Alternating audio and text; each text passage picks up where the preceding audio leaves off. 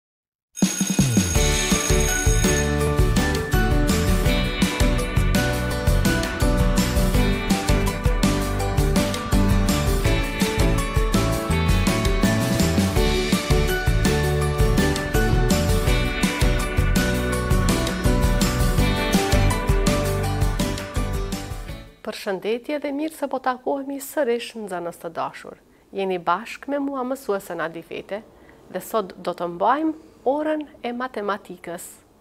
Ju kujtohet nga ora e kaluar kemi mësuar për lidhjen ndërmjet mbledhjes dhe zbritjes. Pikërisht sot pra do të ushtrojmë me këtë njësi mësimore lidhja ndërmjet mbledhjes dhe zbritjes. Këtë njësi mësimore ju mund ta gjeni në librin Matematika një B, faqe tridhjetë e dy.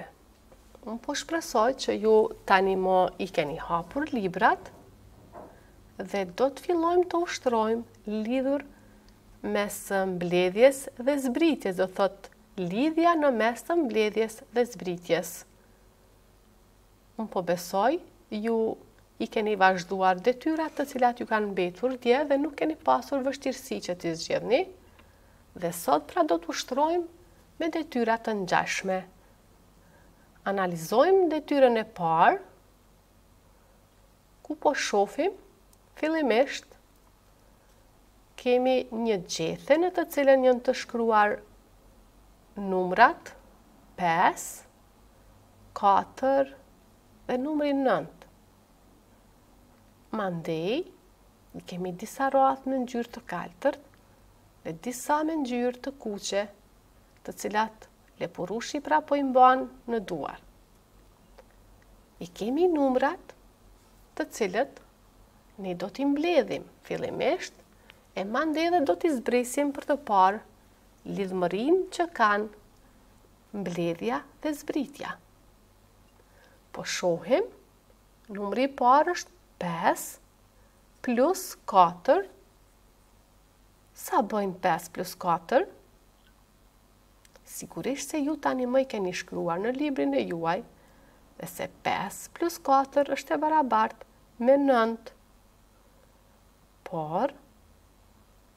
Nëntë minus katër është e barabartë me sa?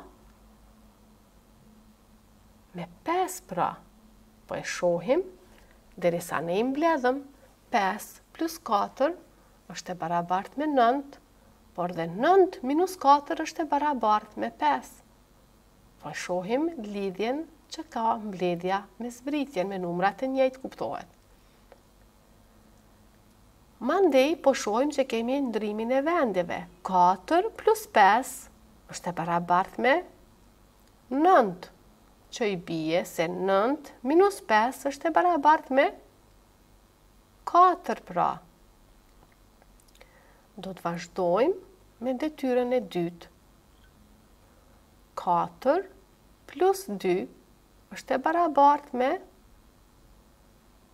me gjashtë, por dhe dy plus katër, prapë pra është e barabart me gjashtë, sepse mbledhorët vetëm i kanë ndërruar vendet.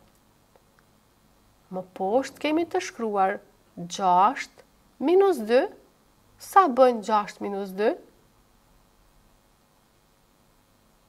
Përderisa katër plus dy është e barabartë me gjashtë, atëherë themi se edhe gjashtë minus dy është e barabartë me katër.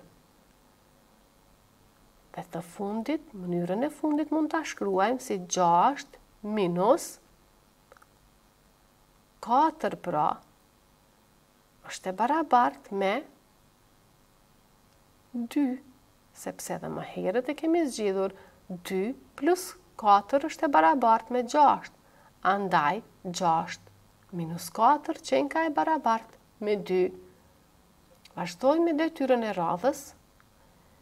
e kemi 4 plus sa duhet ta shkruajmë aty. Për ta ditur se cilin numër duhet ta shkruajmë, ne po shohim në gjethe i kemi dy numra, është numri 7 dhe është numri 3. Andaj, çfarë mendoni, cilin numër duhet ta shkruajmë ne aty? pikërisht pra numrin tre, sepse katër plus tre është e barabartë me shtatë.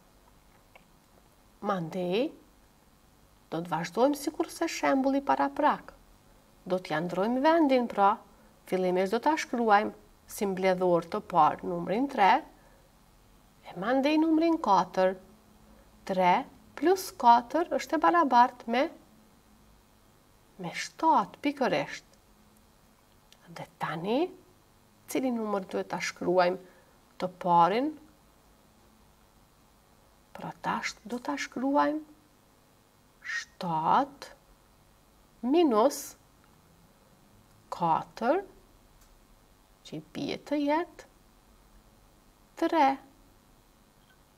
dhe kemi mënyrën e fundit të cilën do ta shkruajmë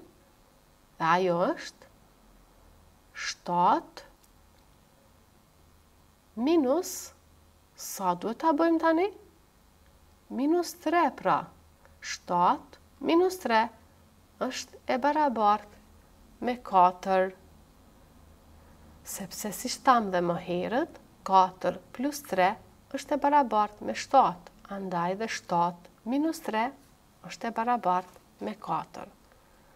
Fillimisht, do ta analizojmë detyrën e tretë që po shohim disa kokrra mollë. Pra, kemi 5 mollë të plota, do thotë janë 5 mollë të plota dhe 3 mollë të cilat janë të ngrënura. Atëherë, 5 plus 3 është e barabartë me 8.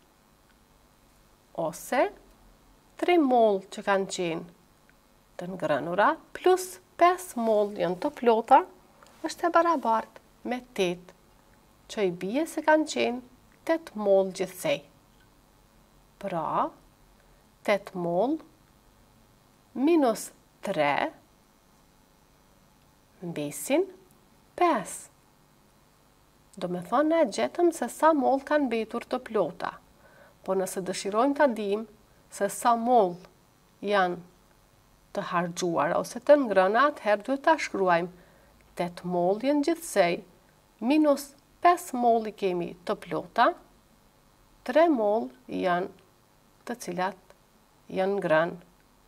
Pra, po e shohim lidhmërinë mes mbledhjes dhe zbritjes.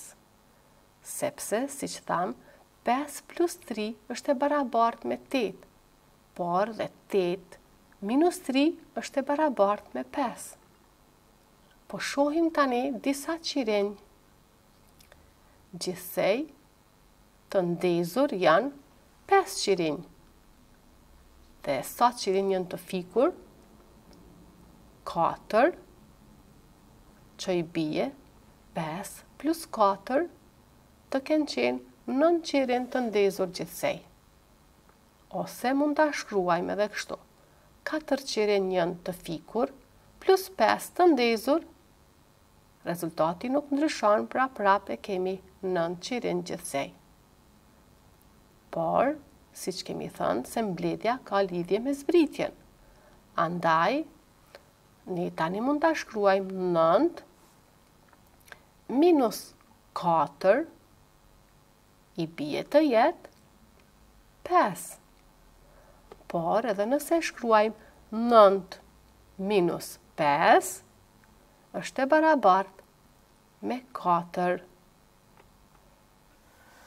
Tani vazhdojmë me zgjidhjen e detyrës së katërt, ku e kemi të dhënë një model apo një udhëzim sipas të cilit ne do të vazhdojmë t'i zgjidhim kërkesat në vazhdim. E kemi 7 minus 5 është e barabart me 2. Andaj 2 Plus pesë bëjnë shtatë. Njëjtë do të veprojmë me zgjidhjen e kërkesave në vazhdim. Është plus gjashtë që duhet të na japë shtatë. Çfarë mendoni, cili numër duhet ta shkruajmë të parin? Është numri 1 pra, sepse 1 plus 6 bëjnë 7. Andaj, shtatë, minus sa, duhet ta shkruajmë në mënyrë që na jap rezultatin një, shtatë, minus gjashtë pra, sepse shtatë minus gjashtë është e barabart me një. Vazhdojmë me kërkesën e radhës, e kemi plus 3, që duhet të na japë rezultatin 9. Cili numër duhet ta shkruajmë? Gjashtë pra sepse gjashtë plus tre është e barabart me nëntë. Andaj nëntë minus tre është e barabart me gjashtë. Ju do të vazhdoni nxënës të dashur me zgjidhjen e kërkesave në vazhdim. Unë shpresoj që ju i keni kuptuar dhe nuk do të keni vështirësi për t'i zgjidhur. Mirupafshim e mirutakofshim në orën e ardhshme.